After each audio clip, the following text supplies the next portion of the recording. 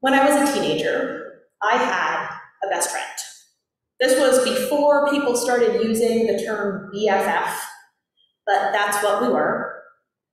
We met at church, we bonded in Sunday school, and then we grew inseparable during junior high. We stayed over at each other's houses and borrowed each other's makeup and had matching two peas in a pod necklaces, and people called us Tweedledee and Tweedledum, and we were inseparable. Until suddenly, we weren't. I will spare you the play-by-play, but a series of minor slights and petty conflicts spiraled out of control until we were in what seemed to us one of the great dramas of the century. We were like 14, so, you know, it's par for the course. Eventually, we were no longer speaking with one another. The friendship was over, but we'd met and formed our friendship at church, and our falling out had happened in full view of the church, and we still attended the same Sunday school classes and youth group meetings and church social events. And so my youth pastor endeavored to help us embody the Christian virtues of forgiveness and reconciliation that Jesus touches on in today's gospel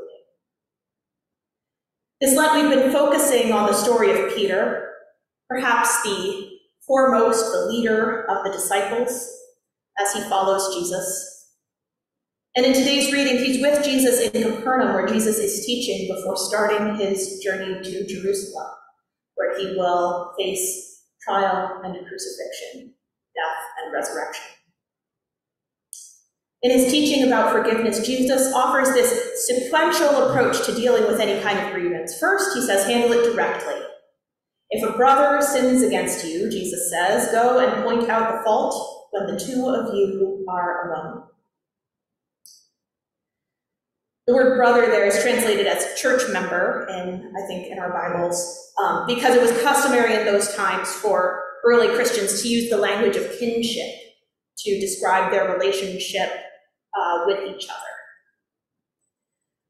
This isn't unusual or counterintuitive advice, but people have always found it challenging. It is much easier to gripe about someone than to talk to them. So that's where Jesus asks his followers to start. If that doesn't work, Jesus says, take two or three people with you. Only after you've attempted to resolve the dispute directly is it appropriate to start involving other people, he says, and only a few people at that. And finally, if even that does not work, Jesus says, you can bring the matter to the church as a whole. Of course, it's hard to imagine uh, contemporary congregation following these steps to the letter, I don't really think that it would be helpful or appropriate if we had some interpersonal conflict among two of you, two of us, to have them, you know, to have folks come up here during Sunday service and hash it out. Uh, but the principle undergirds our denominational structures for addressing conflicts and grievances. When a conflict can't be resolved interpersonally, there are mediation teams and uh, denominational committees um, that step in to facilitate, to be in that role of bringing it to the church to help resolve the issue. Uh, that's one of, I'm, I'm, going to be part of the church in a couple such meetings uh, in the near future. Even if the exact steps, quite the way Jesus describes them here, don't still fit exactly with our modern context, we can see here yeah, well, um, that Jesus maybe is. Maybe that's helpful. Getting it or not? Linda and Ned, you're unmuting intermittently. Are you hearing okay? Uh, yeah, we uh, we just keep getting uh, cut out, so we're trying. Ooh, okay. Sorry. Gotcha. All right.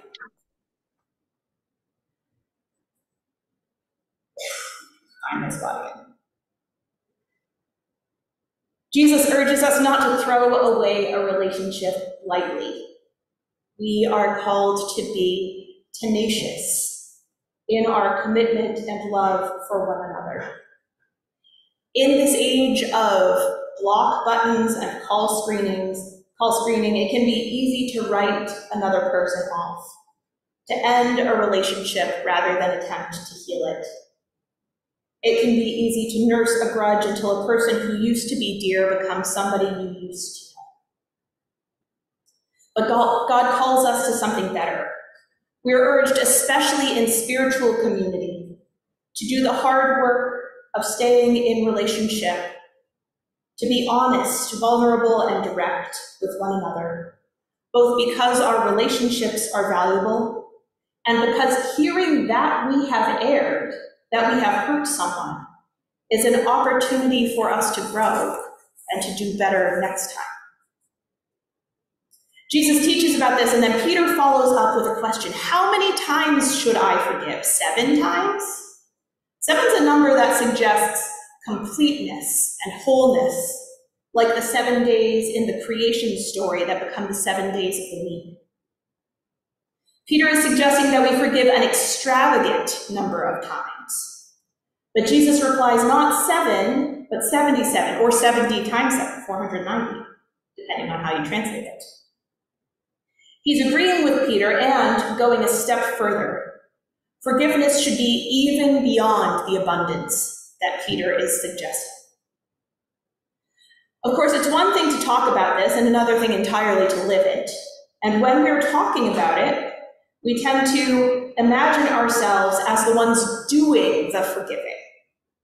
We ponder what it means to live a life of forgiveness and how to cultivate that kind of spirit. We reflect on the fine line between forgiving transgressions and accepting mistreatment. One is something that we're called to, and the other is really not. For Peter, he wants to learn to sit at Jesus' feet and hear the teachings. But we who know the old story know what's going to happen next with Jesus and Peter in the chapters to come.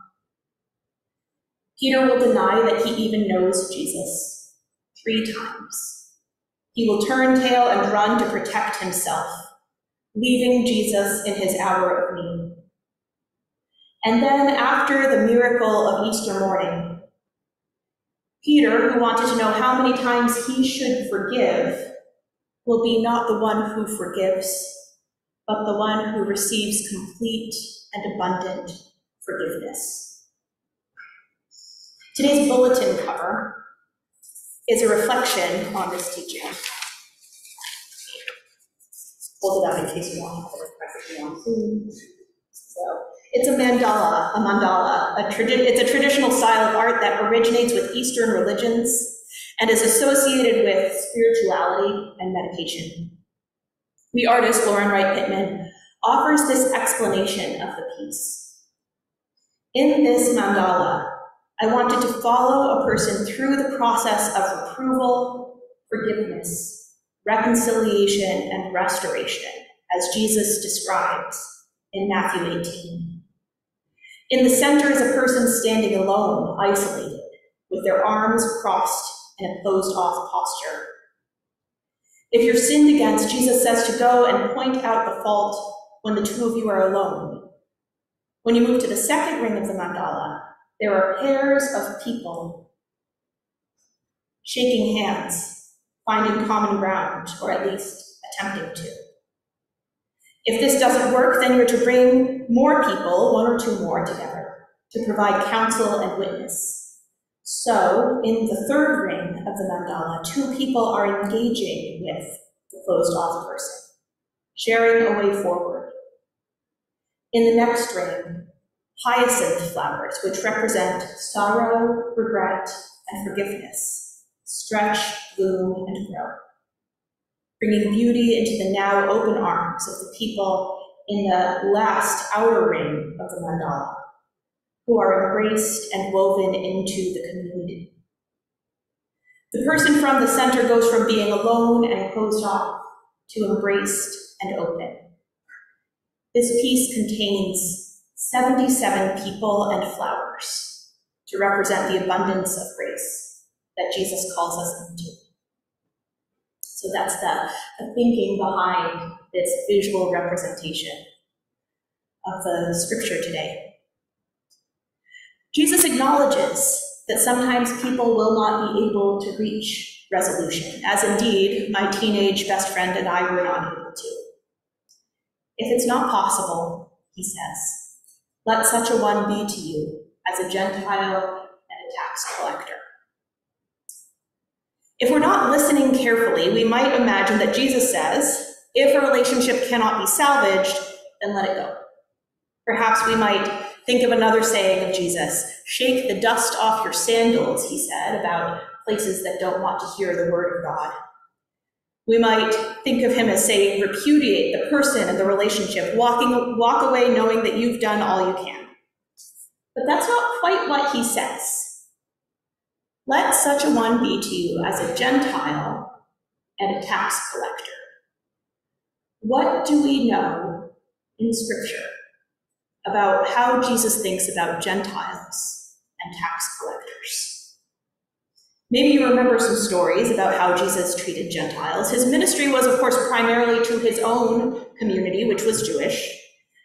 But he did reach beyond his religious and cultural identity. He cast demons out of a possessed man in the land of the Gerasenes. He healed the servant of a Roman centurion. He shared water and good news with the Samaritan woman at the well. There are many stories of Jesus' ministry to and companionship with Gentiles.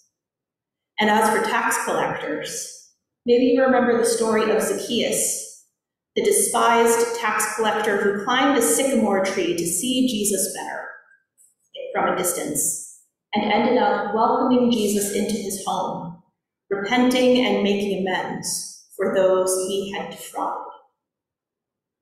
Let such a one be to you as a Gentile and a tax collector, Jesus says, which is to say, let such a one be to you as a child of God Remember that they are created in God's image, loved beyond words, called to repentance by the God who will never give up. Let such a one with whom you cannot reconcile be to you as a lost sheep whom God is seeking even if you cannot anymore. Because that is who we all are to God. Beloved ones, who sometimes sit at Jesus' feet longing to learn and sometimes deny that we even know him, who sometimes shine God's light in the world and sometimes stumble in the darkness, who stubbornly resist making things right sometimes. Faithful disciples and wandering hearts, who one day sooner or later, by grace and the Holy Spirit, may return home to the God who welcomes us with open arms. Thanks be to God. Amen.